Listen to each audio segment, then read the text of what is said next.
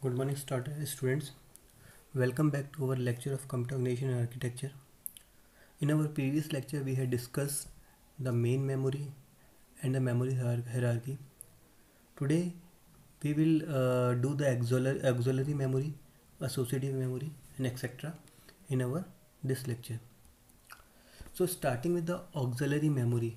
So as we had studied that auxiliary memory is nothing but they are the secondary memory that are used to store the store as a backup.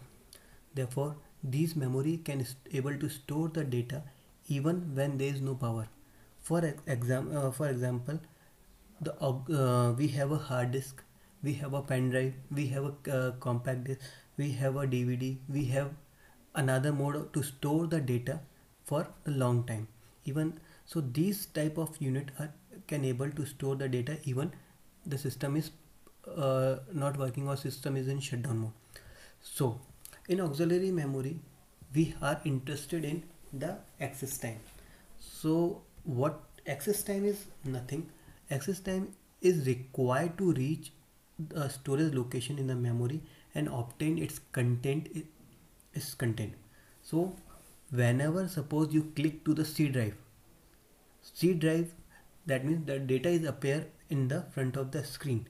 And that appearing that would be the time taken from uh, to access the data from the C drive is the access time. Or suppose you want to uh, open a file uh, whatever the file available in uh, C drive D drive suppose x.doc and you click on x.doc and it will open. So that means you are accessing the data from the auxiliary memory and this time of access is called access time. And this access time can be divided into two uh, can be the uh, uh, addition of seek time and the transfer time. So seek time is nothing but it is required to position the read write head to the location. Whatever the location where is the location where the data is to be read or to the write. So to required to locate that position. The time required to locate that position where the read write head to be write the data or to read the data is called seek time. And to after that the data is to be transferred to or from the device. And this is called a transfer side and the addition of these two combination of these two collectively is called the access time of that data in the device. Next is associative memory associative memory is a type of memory that is specially used for searching. We know that uh, every program to access the data in the system there is a requirement of the searching. An assembler program search the symbol table symbol tables to extract the uh, many search algorithms have been developed to minimize the number of access while searching of an item in the random or sequential access memory. So uh, another type of memory is designed that is very much similar to the uh, that is uh, main memory.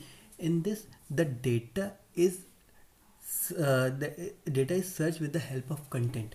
Whatever the data you are trying to access or whatever the location where the data is trying to be right is search with the help of content itself not with the help of address.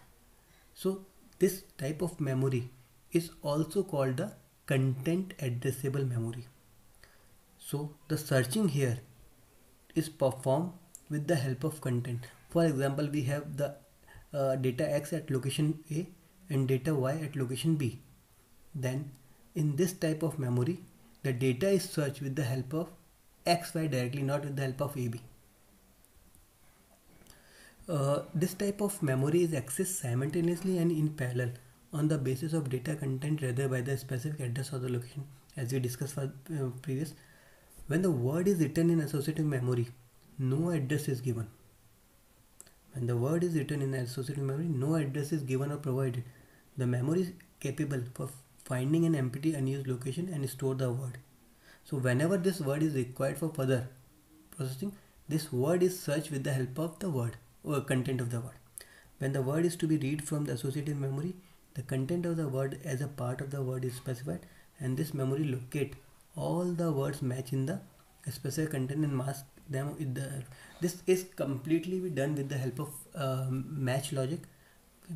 The, uh, an associative memory is more expensive than the random access memory because it uses the mathematical logic to search every bit and it will search based on the masking of it. So a mask register is used that will mask the bit uh, which bits to be find in uh, match in the uh, in the basic register. So moving to the next memory we have a cache memory. As a name indicate cache memory is very uh, costly memory and it is very active of uh, active memory. Because whatever the data placed in it will be very fastly accessed uh, you we can say the average memory time uh, memory access time can be reduced with the help of this memory. This reducing the total execution time of program because whenever the data required by the CPU and if we provide the same very fastly then execution will be performed faster. Finally we can say the reducing of total execution time because their waiting time will be reduced for the CPU such a fast small memory is referred as a cache memory the cache is very fast component in the memory and uh, memory hierarchy and approaches the speed of CPU components when CPU need to access the memory the cache is examined examined first. If the word is found in the cache, it read from the fast memory. Otherwise, the word is addressed in the main memory and first it is stored in the cache and then after it will transfer to the CPU for the further processing. This performance of cache memory is measured in terms of hit ratio. We can measure the performance of cache memory in terms of hit ratio. That means hit ratio is the ratio of number of hits and number of uh, and total number of uh, requirement we can say whenever we uh, cpu refer a request for the data and it first uh, search the uh, search the cache and if it's found in the cache then it is called hit and otherwise it is a miss. So in case of miss the data is uh, collect from the main memory and first a cache make its copy if there is a write through scheme otherwise it directly transfer to the CPU that means hit ratio is nothing but it is a hit upon total number of uh, hit plus miss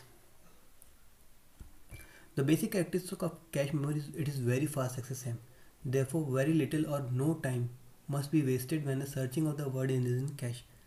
The transformation of data from main memory to cache memory is referred to as a mapping process. That means we can say whatever the data in the main memory and it is uh, transferred to the cache memory this map this is called a mapping process. And we have three type of memory mapping. They are associative mapping direct mapping and set associative mapping all these type of mapping uh, to transfer the data from main memory to the cache memory we will discuss them each one in details in our next lecture so Thank you student for watching this lecture and we will do the types of mapping and the virtual memory in our next lecture. Thank you once again.